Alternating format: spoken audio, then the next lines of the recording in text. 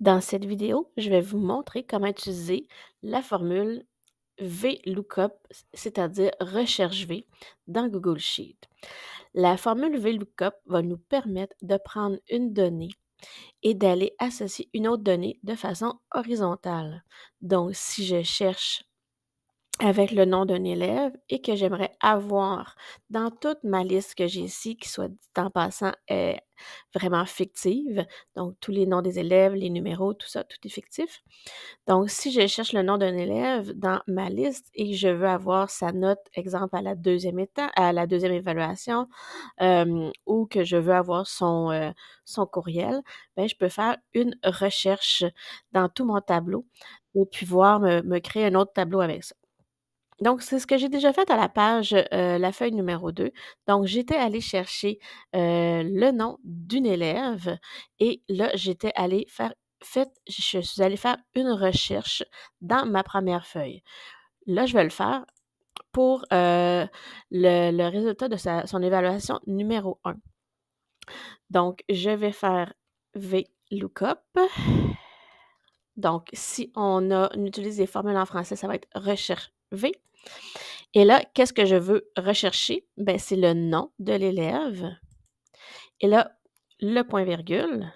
Et ensuite, à quelle plage je vais trouver cette information-là? Donc, c'est important d'aller sélectionner la première colonne, donc c'est-à-dire la colonne des noms.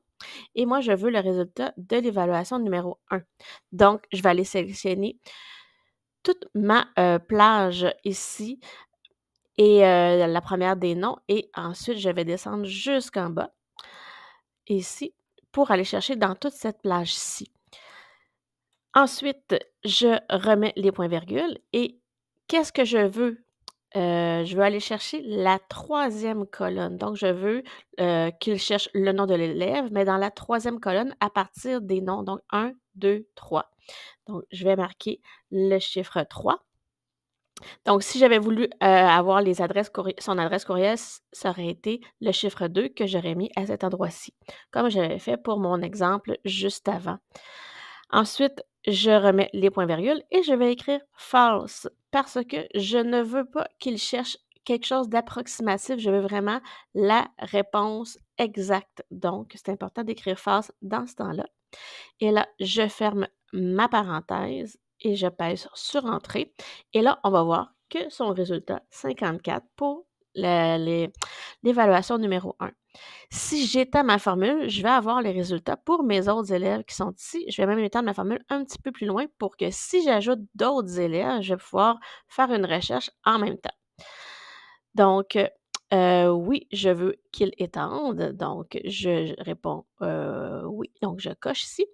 Et si je vais chercher maintenant un autre élève, ben, vu que j'avais déjà rentré la, même formule, mais avec euh, la colonne numéro 2, ça veut dire la colonne des adresses courriels, il va me donner l'adresse courriel et la note de l'élève. Donc, je vais aller chercher un élève au hasard. Donc, je vais aller chercher un nom qui s'écrit facilement, Lily Turner.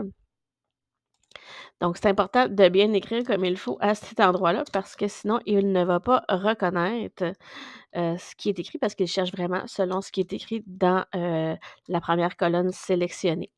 Donc, si pèse sur Entrée, j'ai son courriel et j'ai sa note à l'étape 1. Donc, avec VLOOKUP, on fait une recherche horizontale dans un tableau d'une première colonne qu'on sélectionne jusqu'à la colonne qu'on veut qu'il cherche l'information.